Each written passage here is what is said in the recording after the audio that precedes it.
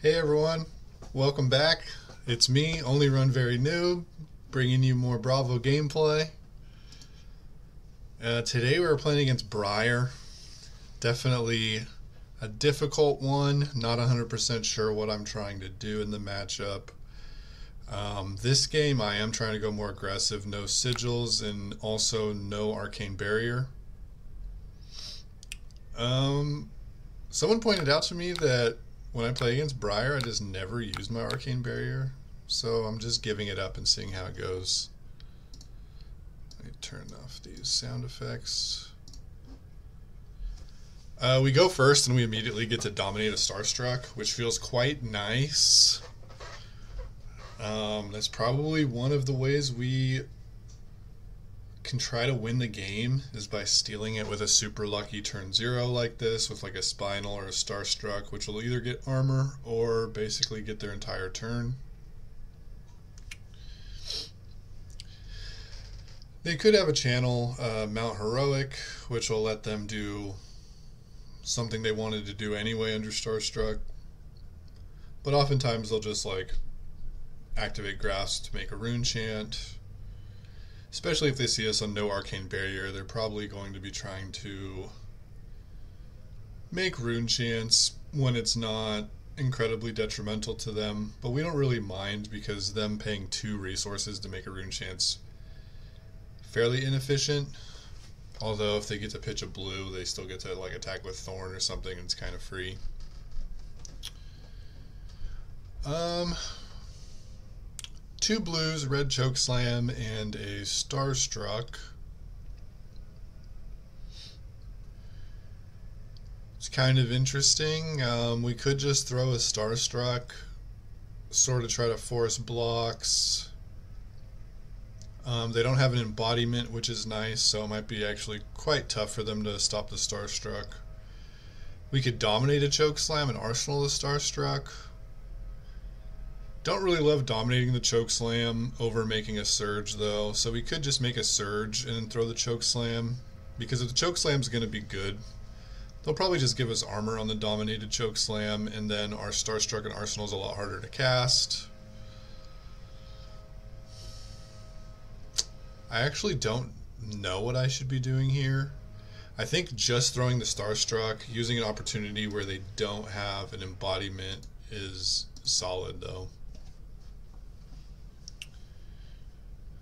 Um, if we had an embodiment, it'd be quite easy to just throw the Starstruck and Arsenal the Choke Slam, waiting for like a channel Mount Heroic turn. But yeah, as we, as we see here, we, we just throw the Starstruck. I would probably do that again in the future. Um, just trying to leak some damage, get a bunch of cards, and take advantage of him not having an embodiment.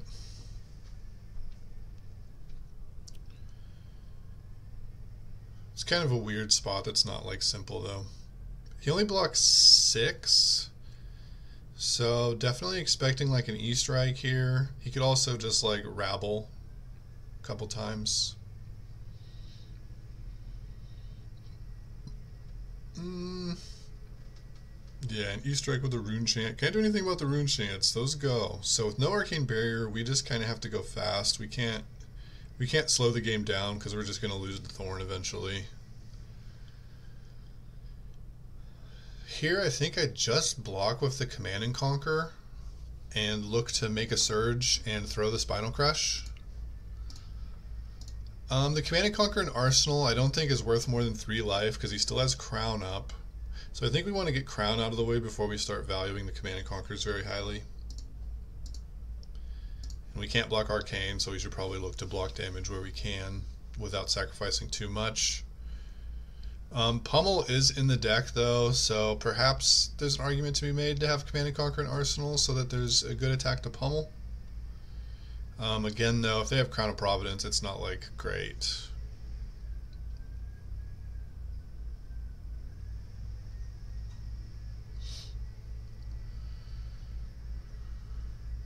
Once we get to our action phase, generally Bravo turns are fairly easy. Um, the hard decisions are usually made during the blocking step. So here we just uh, make a surge and throw spinal. Not really expecting it to do too much other than get a couple cards and get a couple damage.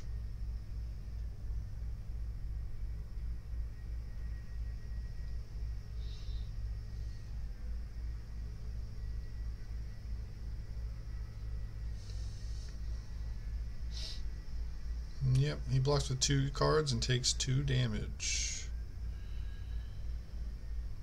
Uh, red choke slam and three blues with a surge up kind of looking to just block six and throw the choke slam. Again, I think the three life that we get from blocking is going to be better than uh, dominating it, even though we would get to make a surge. I like to not stop the on hit here because I think he's going to attack me again and get the embodiment anyway. So I'd rather save the armor for an on hit I want to stop. And yeah, we don't have to protect our arsenal because we don't have one, so we just end up blocking three and looking to choke slam him.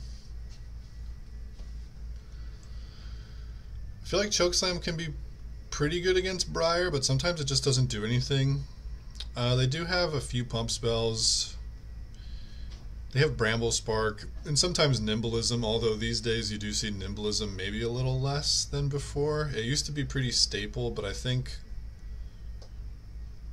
um, they're trying to play around Warmonger's diplomacy a lot these days. So I think you see a lot more like Lightning Surge and Entwine Lightning than you did in the past. He gives us all of his armor. Um, this must be in channel, a channel turn. Definitely interesting that he gave us a bunch of armor here.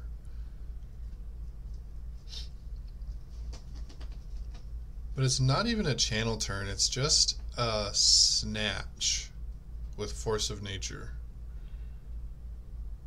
He showed us Sow Tomorrow. So he has a blue Sow Tomorrow in hand and a card we don't know. We just go ahead and block 5. We think he's going to snap here. But he shows us a Razor Reflex, which is definitely a very interesting one. I do not see that often but it is good for him here. He gets to draw two cards, which is certainly scary. We wanted to hold these three cards to be able to Spinal Crush him back. Um, but him turning that Razor Reflex into three damage and two cards was pretty dang good. He must have drawn some real bad ones because he just makes a. He activates Grasp to make a um, Rune Chant and then just attacks with Thorn. I think that's damage we're happy to just take here. We can still send the Spinal back.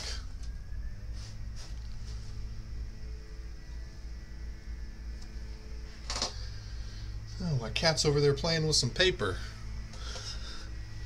We won't stop him, he's cute.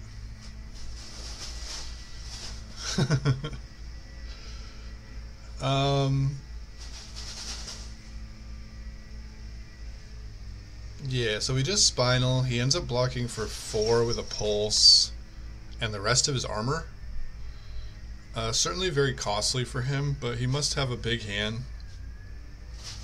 Uh, he has no armor and we have a bunch of armor, which is something interesting here.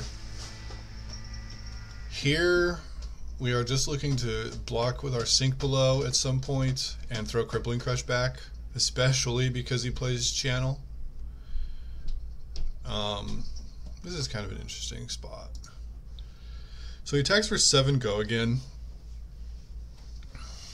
I think preventing the embodiment is pretty good here. Because we have the sink below, we could block with tech plating and boots and sink below and prevent the embodiment. He could have another attack he wants to throw behind. The the only one that would be really, really bad for us is if it's snatch because all the other attacks leave him without an arsenal, and I think he wants to have a big five card hand with uh, Channel Mount Heroic. So, do we play around Snatch here?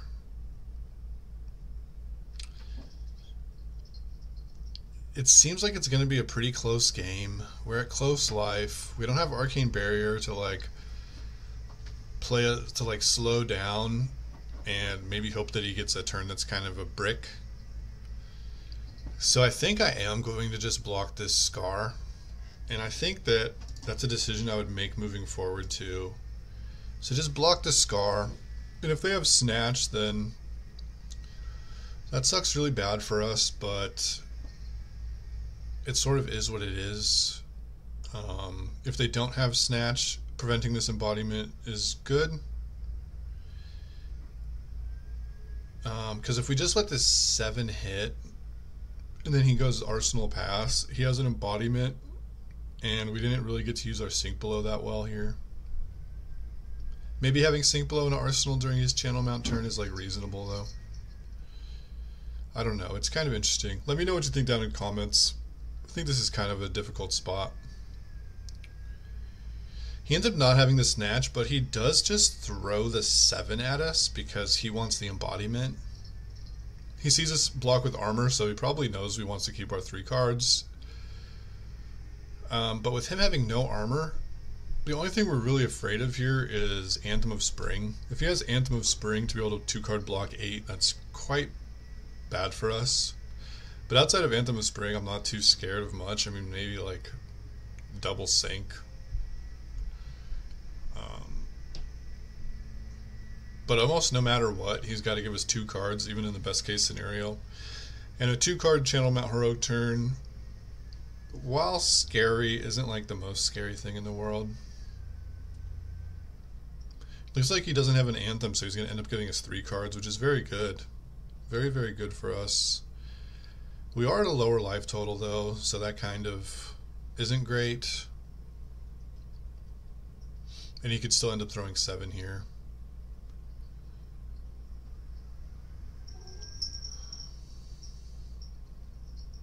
Lucky he drew the snatch this turn and didn't have it as his last card last turn. But I do want to prevent this snatch trigger while still pummeling him for 10 with the hammer. Let me just pause and talk about this decision a little. Maybe I'm supposed to just block 7 with like Macho Grande and Sink, hammer for 4, and then Arsenal to pummel. Saving all my armor and just sort of giving him a four card hand um, and being up one life. There's a chance we're going to want to proc our crown at some point to fix like a terrible hand. Yeah, maybe I am actually supposed to slow it down a little here and just block 7, Arsenal the Pummel, and Hammer for 4.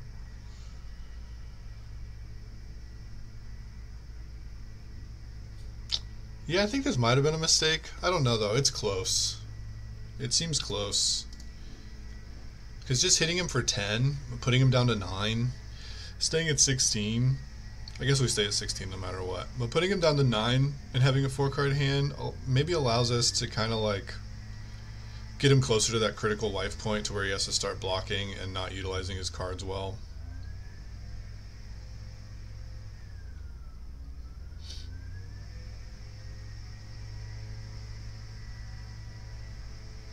Then we even have a pummel in arsenal in case we draw an attack we can pummel, because obviously pummeling an attack is worth way more than pummeling a hammer. Maybe that's what I'm thinking about here. Maybe I just do six and arsenal the pummel. Yeah, I'm probably looking for pummelable targets. And I see red choke slams and two command and conquers in my graveyard, which are basically the two pummelable targets. So I just sort of pummel to try to get the value. Play Sigil of Suffering, which not good for us if we're on AB0. I don't see Sigil as often as I see Sink. Plays a red Sift. This might be a huge break for us. One of his cards almost didn't do anything. Maybe it's just like half of a lightning token. Yeah, and then he's playing Nimblism to make a lightning token and just passing. This is a huge break. This is like a game losing hand from our opponent. Um, we're just gonna. Unfortunately, we don't have anything better to do. We just have to pummel a hammer and Arsenal of Warmonger's Diplomacy. hoping to maybe have a turn that we want to block out and then just play the Warmongers and impact his turn. Um, he's getting at the life total though, where he can't just take 10 here. Yeah, that last turn was a huge break. I think we were probably losing this game if he had anything reasonable there.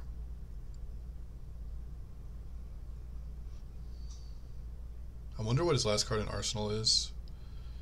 Maybe like another Sigil of Suffering, but I have a feeling he would have just used that on the pummeled hammer last turn.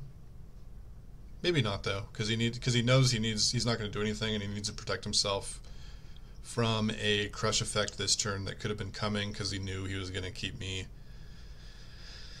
with a four card hand, having no attacks.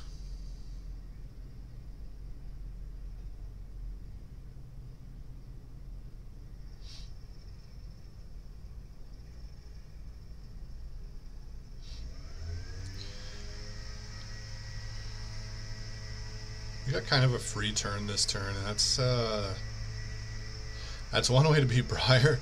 Start off with a dominated Starstruck, and then have him give you a free turn.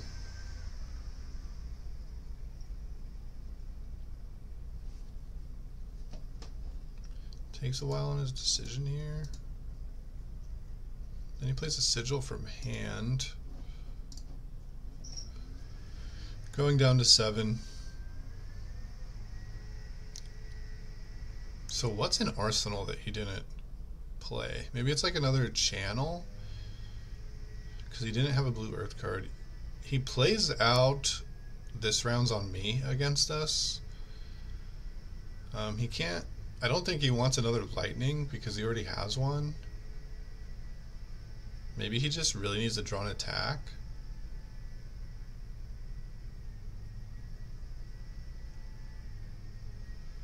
We don't really draw a threat here, which is a little bit of a bummer.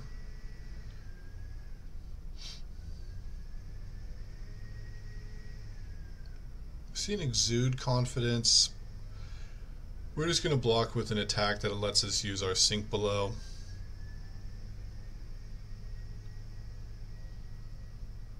For whatever the follow-up may be. And if he pitches like a card to pump it plus two, we even get to sink below that.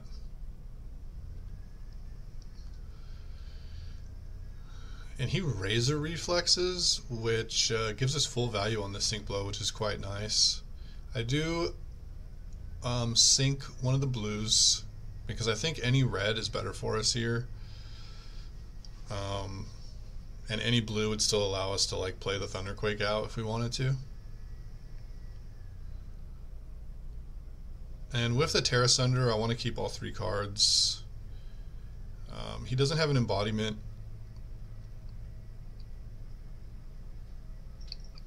So here we just Tear Asunder. Not an awful draw. It is only coming in for six though because of the this round's on me. So if his arsenal card is that Sigil of Suffering that we were thinking it might be, he gets to get out of this quite easily. If not though, I think we're actually in a pretty good spot. He only blocks for two and it is not the sigil and arsenal. So we're really wondering what it could be. Maybe it's Channel Mount Heroic. He's only going to have a one card hand, which is quite nice for us. Uh, we have this Warmonger's Diplomacy in Arsenal, which is not so good for us. Um, we're going to do what we can do. Here, I think I'm just going to block 4 to prevent embodiment and then throw Cranial Crush, hopefully punishing a handful of 2 blocks. Yep, that's what I like to do. But I think from this spot and these life totals, we're just in a very good spot here. Um, if his arsenal is channeled, he's not really going to have a time to play it. He's at 2 low of life. It doesn't matter what attack we draw, we get to disrupt his channel turn. Um, we're always looking out for a third sigil. But if he drew a handful of two blocks, he kind of has to give us three cards to just not die. And he might even be inclined to give us four cards. Oh, So he has two three blocks. See if he wants to go down to one. If he goes down to one with no armor, yeah, I was going to say that allows us to block with three cards and hammer for four for the rest of the game.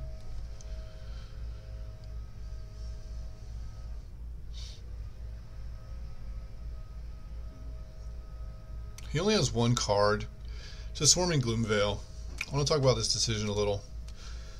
So I've since I started making these YouTube videos, one thing I noticed is that I have trouble closing out games. A lot of times I'll I won't see lines that just win the game. Um, I just kind of look for value.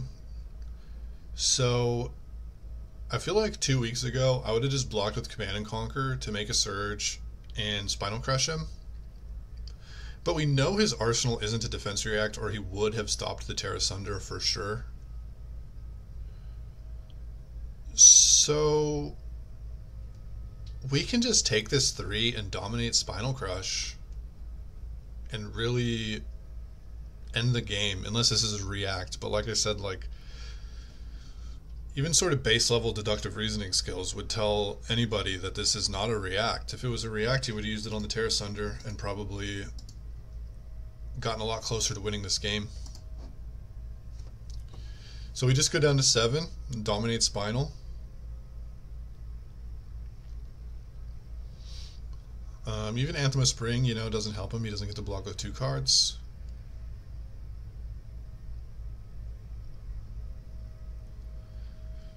And this should end up just being the game here.